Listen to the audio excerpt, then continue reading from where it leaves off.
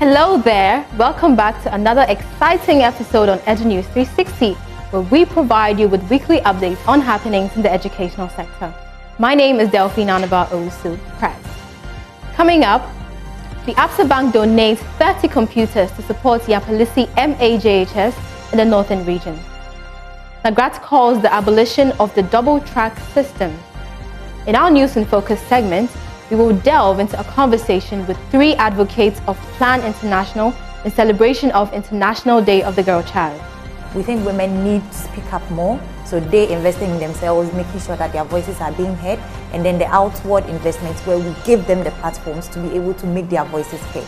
There are details for these and more right here on EduNews 360. Thank you for staying with us.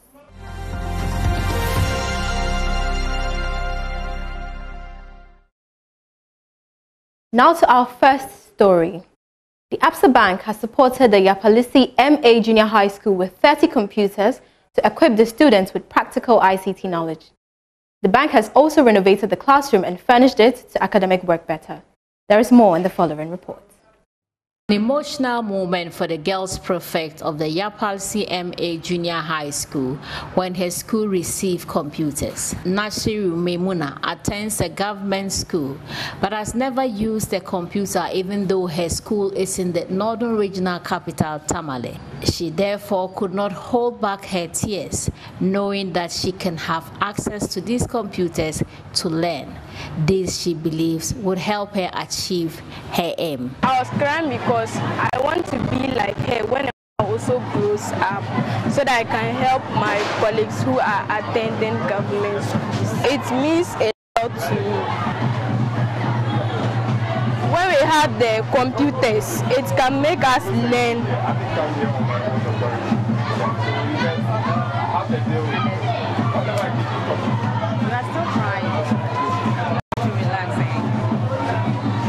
Make us learn so that we can also become some people in future.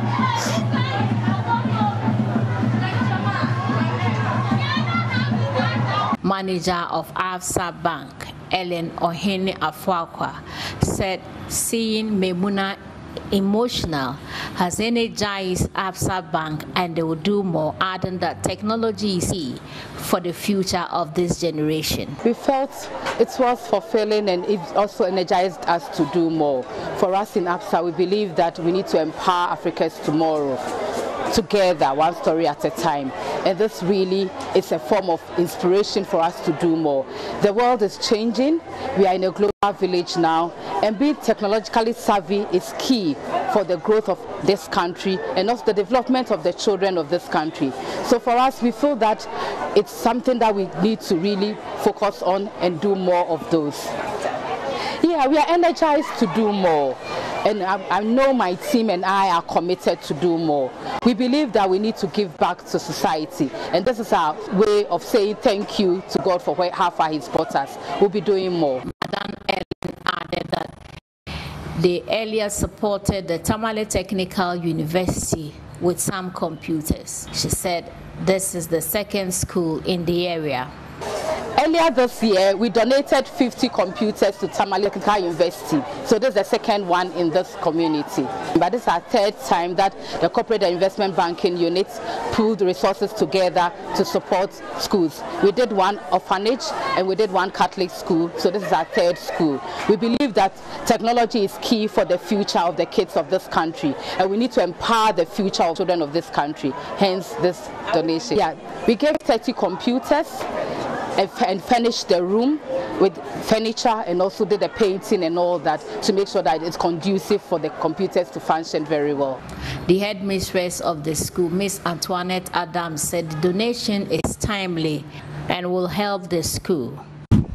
This uh, donation wouldn't have come any other time rather than today. A time when we are in a global digitization where children need uh, to be computer literate. We are very grateful. Government introduced the double track system two years into the free SHS program to accommodate the growing students population, promising to end it after five years. NAGRAT is also asking the Ministry of Education and the Ghana Education Service to terminate the double track system at the senior high school level.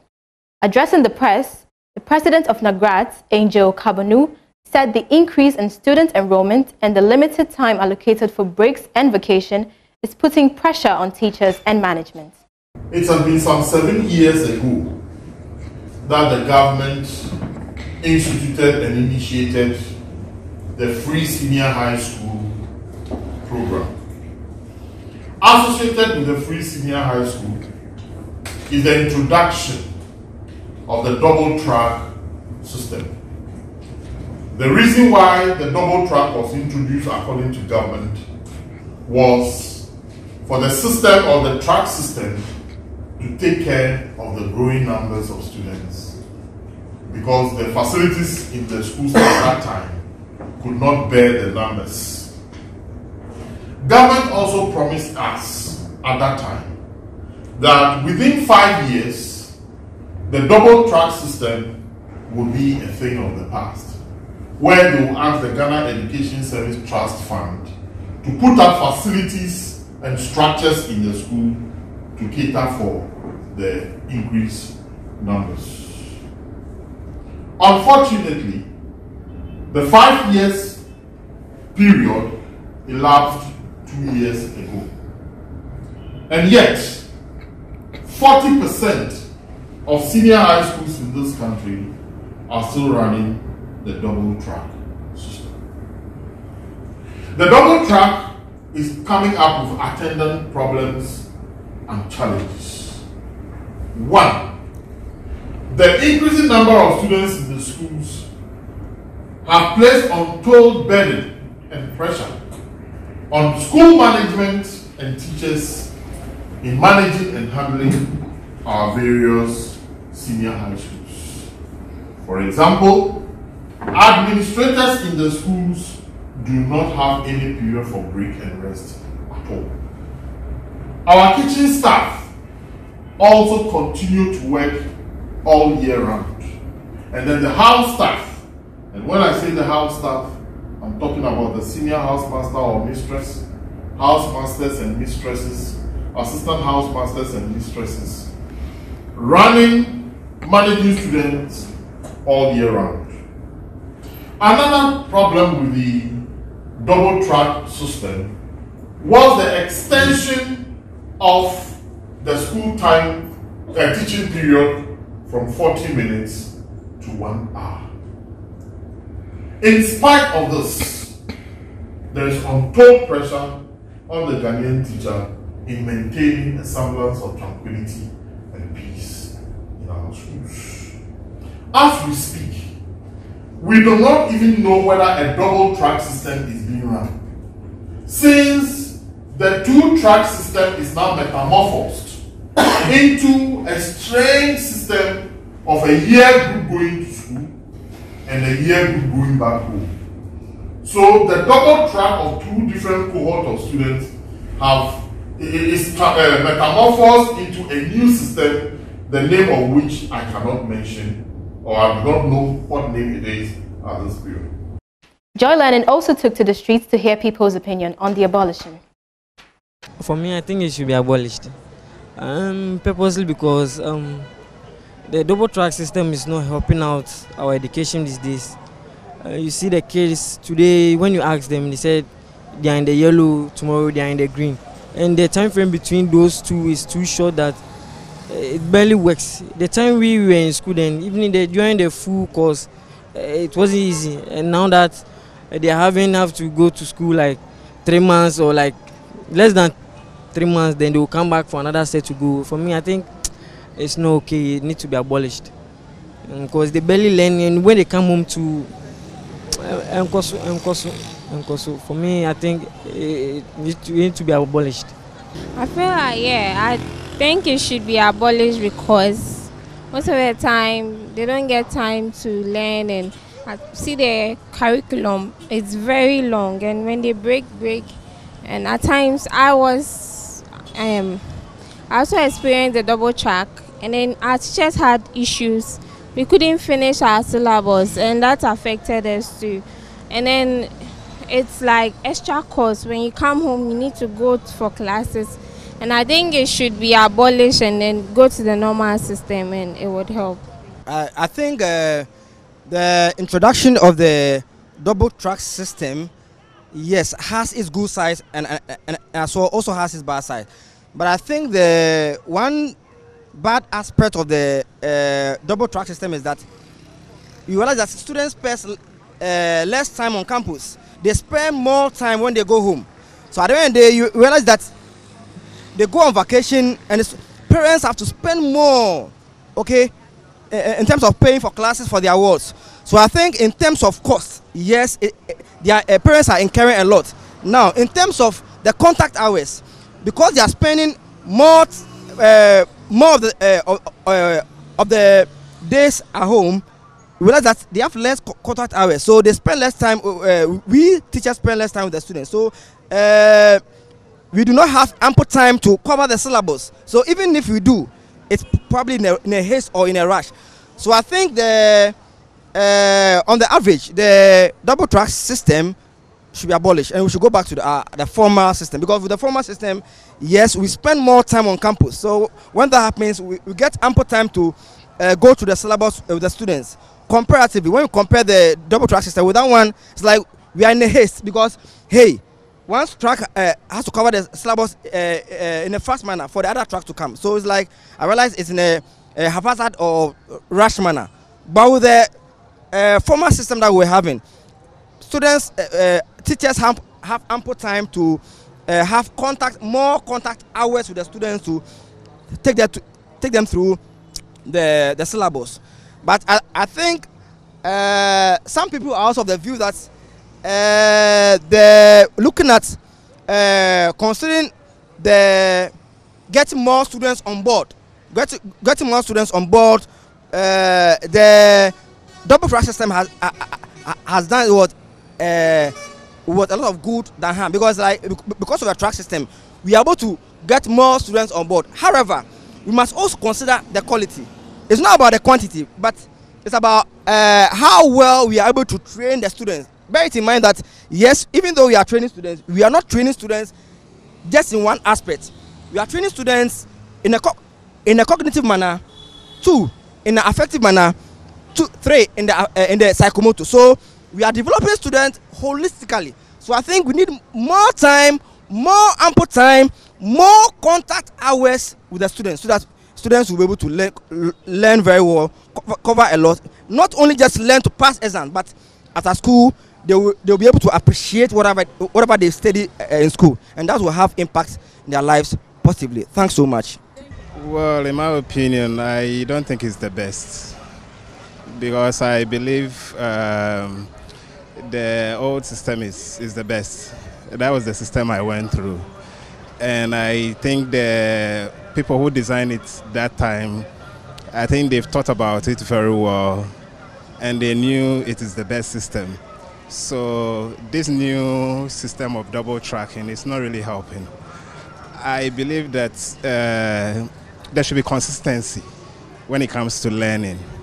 There shouldn't be breakage in learning because there are so many things in the system that tends to to take away the attention of the youth or these children. So if there are breakages in terms of one group coming to school, they go on a break. Another group coming also to school, they go on a break. I don't think it's the best because they tend to be occupied with certain other things like the social media and other things, which makes learning inconsistent. As part of the breast cancer awareness this month, Joy Learning educates viewers on what breast cancer is. Breast cancer is a disease in the cells of the breast that grows out of control. There are different kinds of breast cancer. The kind of breast cancer depends on which cell in the breast that turns into cancer. There is more in the following report. Healthy cells are the basic building blocks of all tissue and organs in the body. But when cell DNA, the cell's wiring, is damaged, mutated cells begin to rapidly reproduce without following the pre wired plan. Aggressive cell growth can form a tumor or mass of tissue that like each individual cell, does not function as originally intended. These abnormal cells, or group of cells, can progress into the disease known as cancer. Breast cancer usually begins either where the milk is being produced, the lobules, or in the milk ducts. Lobular carcinoma in situ, LCIS, is a precancerous condition that forms and is contained in the lobules. Invasive lobular carcinoma is a type of cancer that develops and breaks through the lobules, with the potential to spread to other areas of the body. Ductal carcinoma in situ, DCIS, is a type of cancer that forms in the milk ducts and is considered non invasive because it has not spread to any surrounding tissue. If the cancer has spread beyond the milk ducts, it is known as ductal carcinoma. Less frequently, breast cancer can originate in the stromal tissue, the fatty and fibrous connective tissue of the breast. Treating breast cancer as soon as it's discovered is very important. If left untreated, the cancer cells may invade healthy breast tissue or lymph nodes. Once in the lymph system, cancer can spread more easily to other parts of the body. In our international news, a South African kindergarten teacher allegedly attacked in a Chinese school in Shanghai fears for her safety and those around her. Nolusindo Hleko has forced to leave China following a viral video showing how her employer allegedly physically assaulted her. In the video titled, My Worst Year Abroad, Hleko alleges the school's human resource manager punched her in the face, leaving her bruised. I think, uh, firstly, so sorry that something like this happened to you, especially in another country, you know, where you don't have any family or friends around you. Uh, but I think, you know, just for our viewers uh, who hasn't seen your video, just explain to us exactly what happened to you. Uh, it was uh, Wednesday uh, afternoon. I was at the kindergarten to sign uh, an agreement to dissolve my contract, which is something that they had been trying for a while.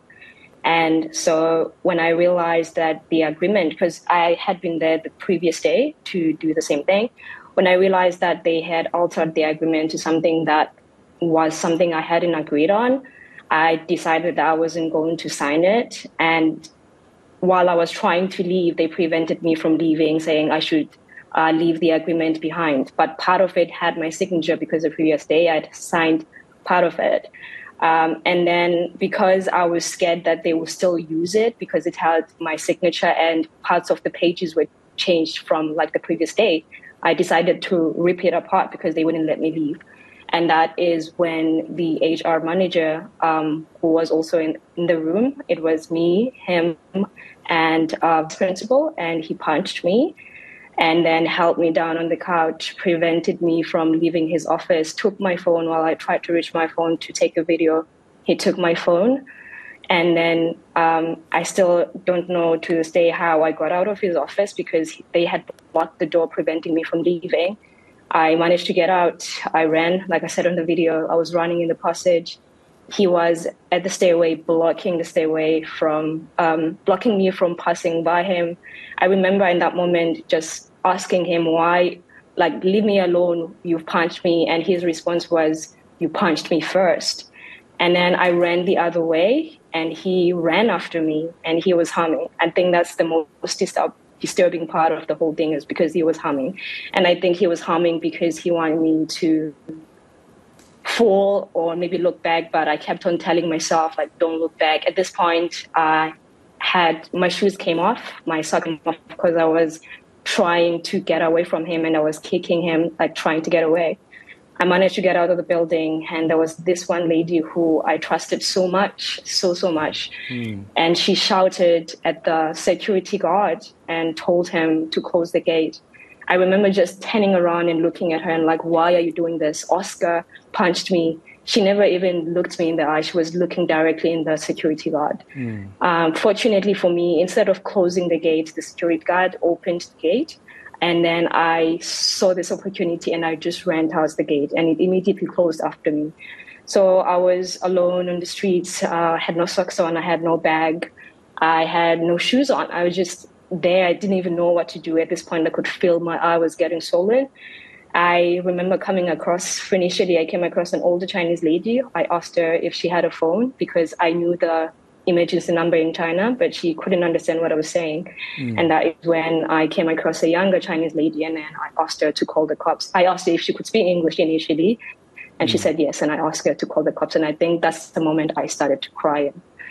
Yeah, so and and at, at, this point, what happened? No, listen, so when when you she called the cops, the cops arrive. Um, how were they in assisting you? Were they helpful? Um, and, and, did you then also reach out to the local authorities there to, to help you in this situation? And, and how did they respond to that? Uh, by local authorities, are you referring to the SA? No, the Chinese authorities. Um, no, uh, so basically, uh, I called the cop. Oh, so this lady helped me call the cops, and the cops arrived. Mm. But when I arrived at the kindergarten, they also had called the cops. So there were cops there already, and they had gathered my everything that belonged to me on the table. And then from then onwards, they basically looked at the office and said there was no CCTV, and he was telling them that I, I hit myself on the couch. And so there was no CCTV in his office, so there was no proof. I just have a brief voice recording on my phone of me telling him to not touch me and basically me screaming, and then my phone stopped recording. I think I might have touched it or something, I don't know. Mm. Um, there were no other authorities I was in contact with other than the cops. The cops were not helpful at all. They mm. because there is a CCTV in the passages of the kindergarten. Every place in China has CCTVs.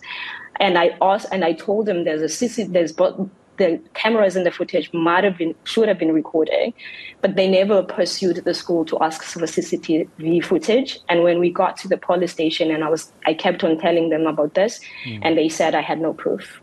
And I couldn't prove anything. I couldn't prove that he hit me. Mm. I couldn't, and I told them I was going to call my embassy, and they told me like my embassy wouldn't be able to do anything. You are still watching Edu News 360. We shall take a quick break and when we come back, we will bring you our News in Focus segment.